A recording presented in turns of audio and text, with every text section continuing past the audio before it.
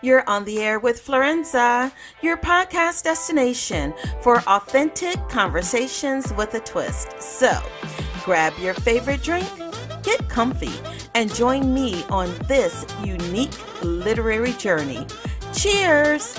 Joining me is Rhonda Crowder. So, guys, I have got to read a little bit about what she is doing here in these literary streets. All right, and I do need to just give a little alibi. Y'all know I like to be very transparent, and this is one of my cousins. If you think that I am doing some things in the literary field, it's because I'm surrounded by literary giants such as Rhonda.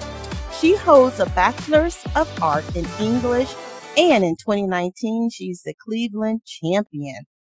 Rhonda is a journalist, manuscript editor, entrepreneur, and author of a fabulous mystery, guys. It's titled Riddles. Beyond her literary achievements, Rhonda is a dedicated advocate for literacy and humanitarian causes. Connect with her and explore her literary world via her website, and we're going to have that information for you um, in just a bit. So give it up for Rhonda Crowder. I need to get some little applause or something there. I love your intro. Thank Thanks you. for the introduction. You are welcome. Now, you know, I just kind of hit and miss because I'm always scarfing, you know, scrounging on the internet, looking up bits and pieces. So tell us a little bit about yourself and about your your book riddles, which um, you know, I read as soon as I got my copy of it. So tell us a little bit about that. So, um, I'm born and raised here in Cleveland. Very proud of that. Love being in Northeast Ohio. I left and went away a couple of times, but always found myself back here. And, um, I think it, you know, I can attribute the Cleveland Public Library as one of the places that helped me develop a love for reading and just, and to discover this passion I have for writing. So my book Riddles is my debut novel and it's a mur- it's a murder mystery as as you said. Um it was inspired the inspiration came to me when I lived in Atlanta. And so the story is set in Atlanta, although my main character is originally from Cleveland. And um it's a dead girl in the VIP room of a strip of an Atlanta strip club. Uh, no one is interested in really finding out who murdered her. They just, you know, trying to hurry up, sweep it under the rug and get back to business as usual. Except for one girl that works there who is troubled by this murder and her name, um, her stage name is Riddle. And so she, you know, goes on to just kind of really begin to do some amateur investigations, being nosy, snooping around. And people telling her she crazy, she need to leave it alone. There's no telling what this girl did to someone for them to murder her that way. And just as she began to accept that narrative herself, she receives a piece of information that forces her to keep on going and, and ultimately uh, solve the mystery. Now, this was set in a strip club in Atlanta, and I know that you spent some time in Atlanta. Now, were you actually in a strip club when this thought came to you, or it was just a Well. It, yes.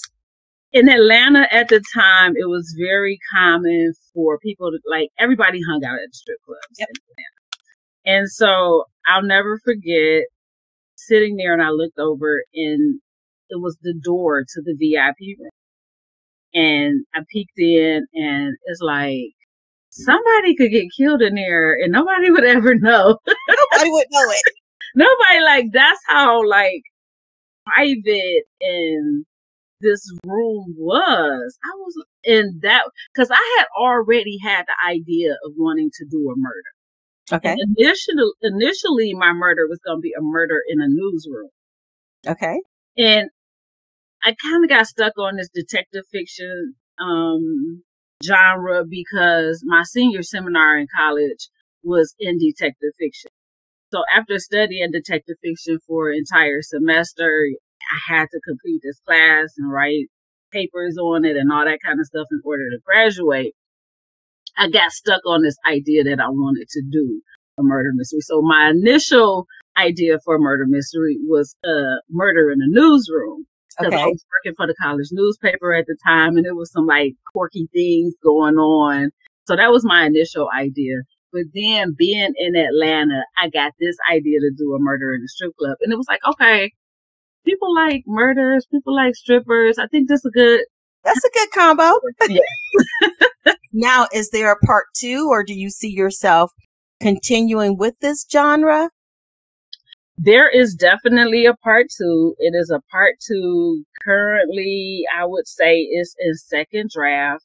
It still needs some more work to it. Um, I would probably write one more book in this series. So I, I kind of envision three books in this series. I don't know if I will continue to write detective fiction. Detective fiction is is hard writing. like fiction writing. writing in my mind is pretty difficult. You know, when you trying to create a world and this this narrative and this story and keeping people engaged. But with detective fiction, there is a lot of nuances that come along with the genre that you have to be really mindful of it, it takes a lot of thought. And so it took me a really long time to write riddles, to get it done, to get it to a place where I felt like it was, you know, ready to share with the world.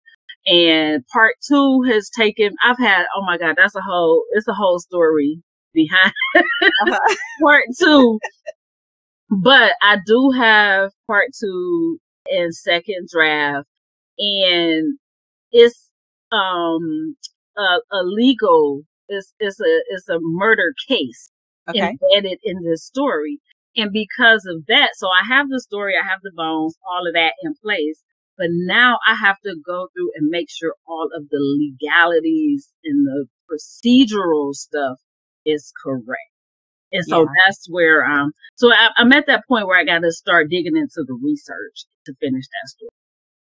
And I love that you referenced the fact that it's in second draft um, you and I both work with authors and inevitably we will run into someone that says, Oh, I just wrote a book and I'm ready to publish it with no concept that that first draft, man, you may as well flush it by all intents and purposes. Like it's like the dirty water that comes out the, the spigot when you first turn it on. It's water, yeah. but it's not useful for much. Exactly. You know? And so in addition to being an author, you are also an editor. Um, and I'm going to put your link um, in the information so that other authors are able to reach out to you for editing and marketing.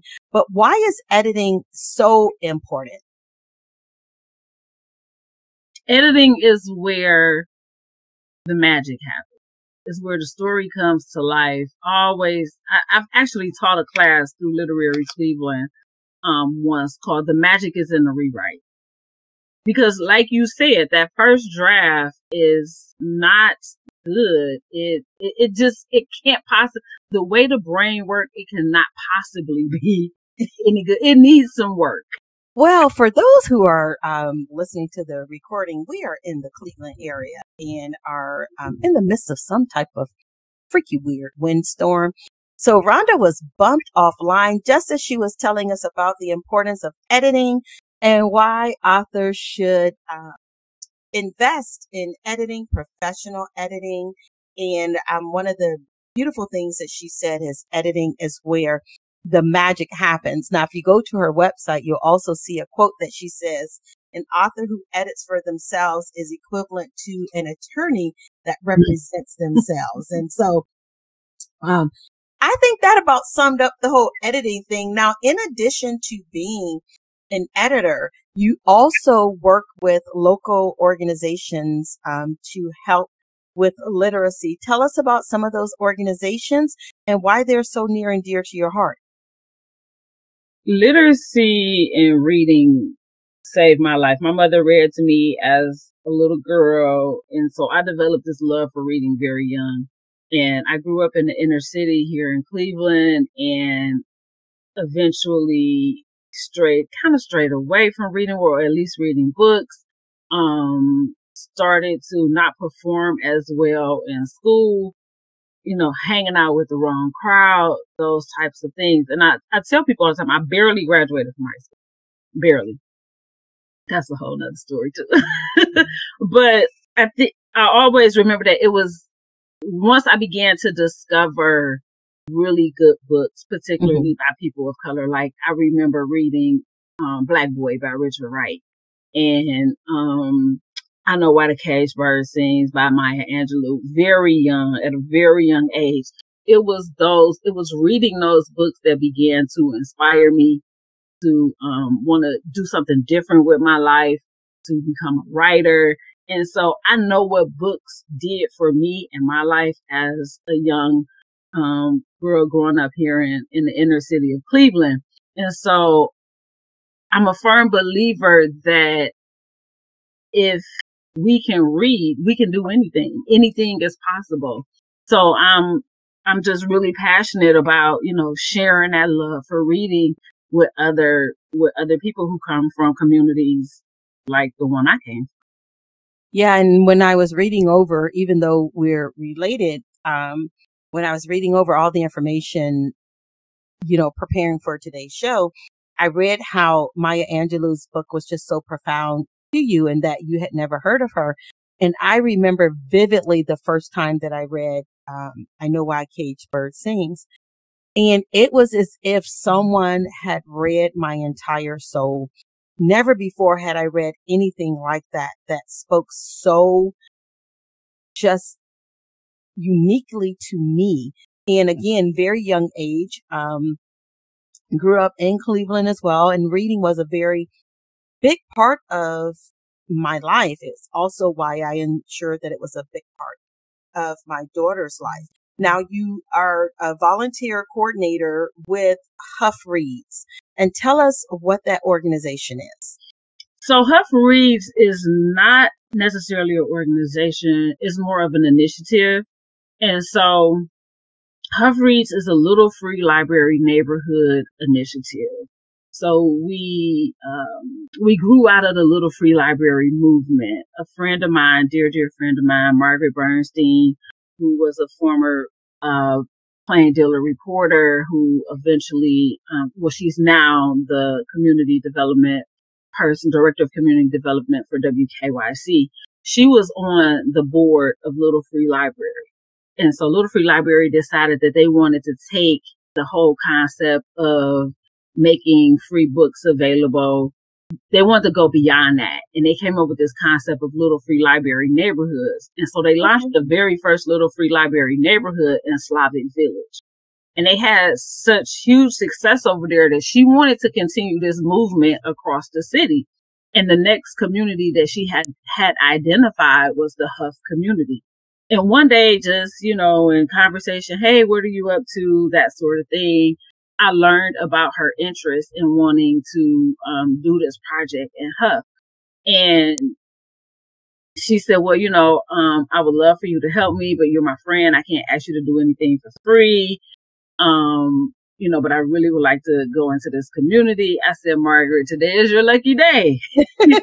Today's the day. Today is the day. You know, not only am I passionate, just as passionate as you about literacy and encouraging people to read, I grew up in Hough. So Hough, you know, my heart is in Hough. Um, and so I decided to take on this project and, and I told her we'll figure it out. Whatever funds we need, you know, to execute things like that, we'll figure it out. And that's what we did. So we went into the Hough community, you know, with the thought of just promoting literacy and doing it in a fun, non-academic way. So our charge was to have at least one event per month. Um, it could be an existing event where we just showed up and gave out free books, or it could be an event that we created. So we did a combination of both of that. We partnered with all of the um, major stakeholder institutions in that community, like uh, Fatima Family Center and Lexington Bell and Rainey Institute and the Hough Multi-Purpose Center, the library. And we would just go around the community giving away books, having um, read alouds. We partnered with the Baseball Heritage Museum and we had a great time just really getting people excited about reading. Um, we did a marketing, uh, a public awareness campaign in the community because basically, you know, me being in the space of marketing promotions, communications, PR, things like that, I just leaned on all the things that I knew to do and, and, put it into this campaign. And it turned out to be a very successful campaign. It's still a lot of work to be done in the Hough community. Um, COVID kind of threw us off a little bit and we've still been trying to regroup in terms of Hough. But then that led to us creating Dickens Reads, which is a, is a tutoring program at Charles Dickens School where we actually go in and um, coordinate volunteers to come in and tutor. Right now, we're tutoring second, third, and fourth graders. Okay. Charles Dickens School in reading. Um, and then the big shebang was Cleveland Reads. Yes. Um, which both Margaret, myself, and my partner Wayne, who was very much involved in the literacy work as well, we all were a part of de- helping to develop and execute that campaign as well. And I love Cleveland Reads. Um, I've had the ability to um, do limited work with them and with Margaret. Um, so that's been wonderful. And that's one of the things that I've looked forward to returning back home to Cleveland. Now, if there's an author that's listening right now and they are passionate as well about literacy, what are some of the things that you would recommend that they do in their own communities as far as to bring awareness to their own backyard? You know, you could do something as simple as going over to the local school in your community and reading to a classroom, um, coordinating a book drive and, and distributing books to children in need. You know, what I've come to discover is that a lot of our children don't have books in the home you know, and I think back on my childhood, it was always a book in the home. It was always something to read. When I would get bored, my mother would be like, go read a book. Um, and so, you know, it's, it's proof. I, I can't, um, spit out the stats right now, but it's proven.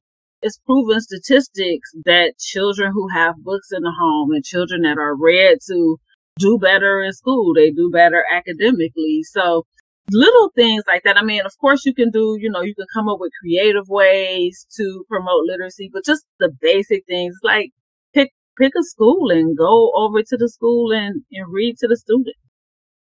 Yeah, I was trying to find the alarming, unbelievable statistic in terms of age appropriate books that are in um, our our homes that are um, where the children are most vulnerable to illiteracy. And initially, I thought it was going to be like, okay, one age appropriate book per ten or per twenty. It was hundreds, if not thousands, and that just blew my mind. That we have homes where there are absolutely no age appropriate books for children, um, books at all, but especially age appropriate books. And I think that that is what led to me subconsciously writing children's books and the type of books that I write that they are um, engaging, they're interactive, they're fun to read. They do have um, messages, but the messages are so well hidden that like I forget that I even started with the intent of having a message in there. It's like a little bit of medicine and a whole bunch of sugar. So, um, but it gets the job done with your love for children and in increasing their literacy awareness, do you see yourself ever becoming a children's book author or a YA author? I actually do have um, two ideas for children's books. And one I've kind of sketched out in my notebook of ideas. and the second one is in my head. But I do want to point out that I do have a love for children reading, but I even have a more stronger love for encouraging adults to read as well, because I think that's where a lot of times we miss the mark. There are mm-hmm. a lot of adults who um, are have low literacy, right? They're reading at um, level one and level two, which is roughly below like a fifth or sixth grade level. And I've come to learn that this is my philosophy. Some people may disagree, but illiteracy is the root of all other ills. 100%. I completely agree.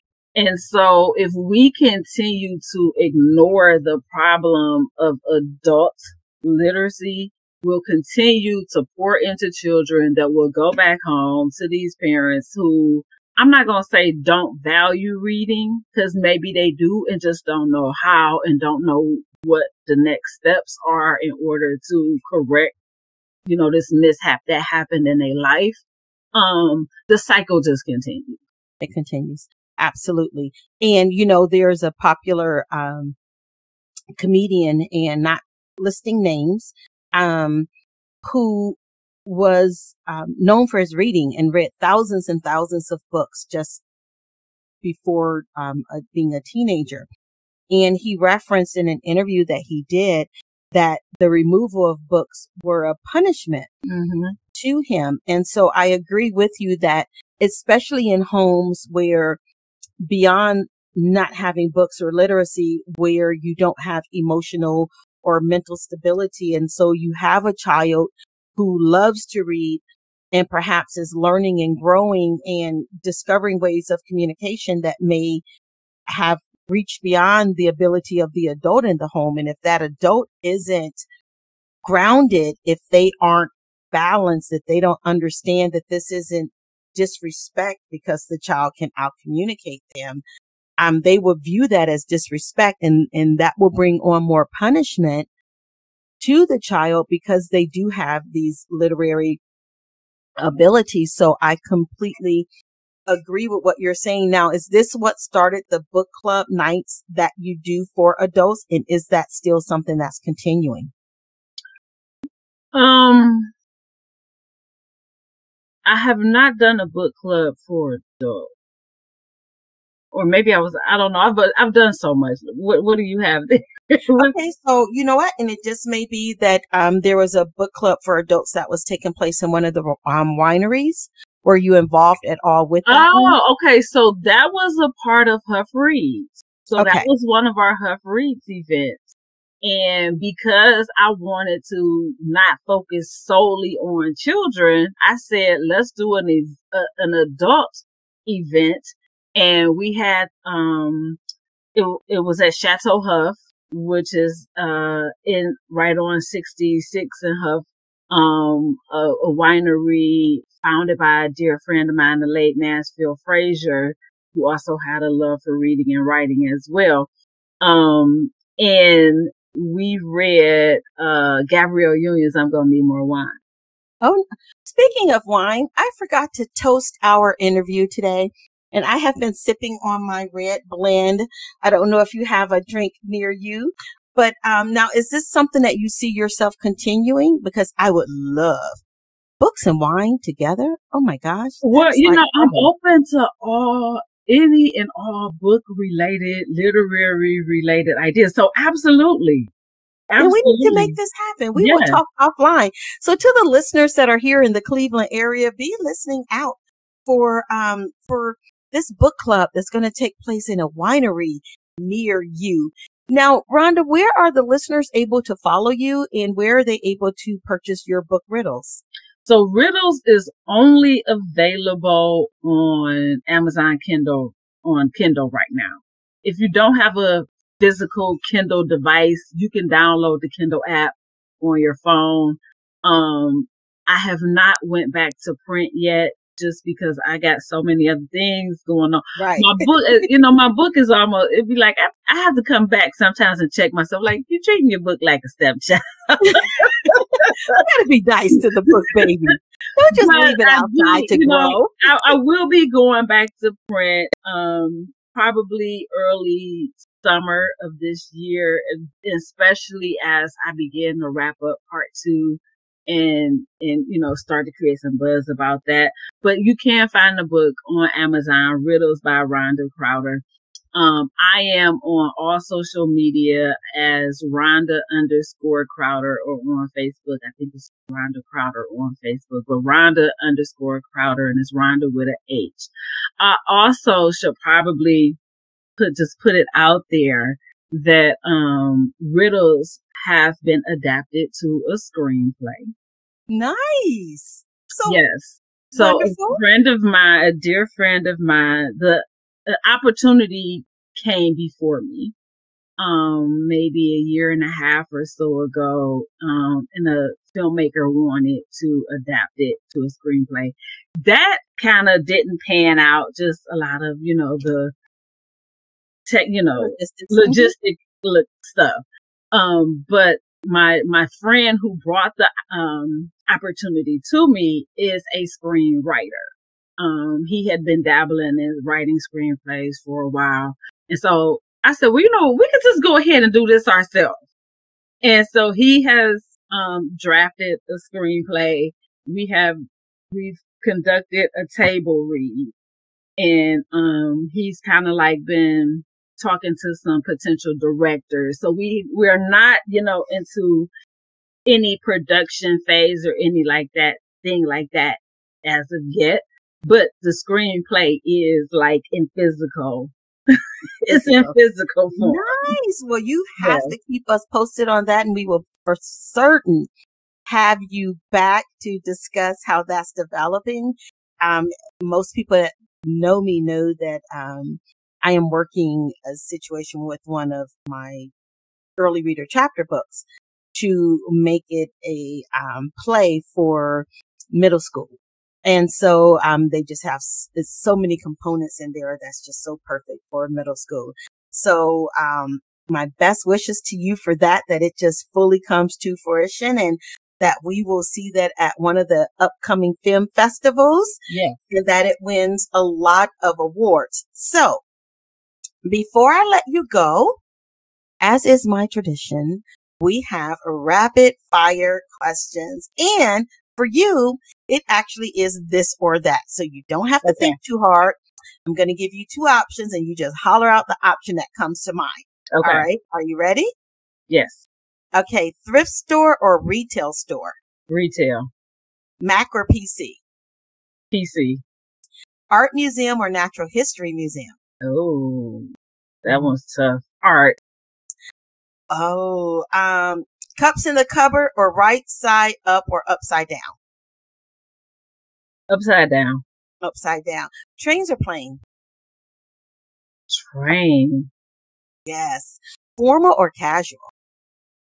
Casual. Mystery novel or sci-fi? Oh, mystery. Oh, dang.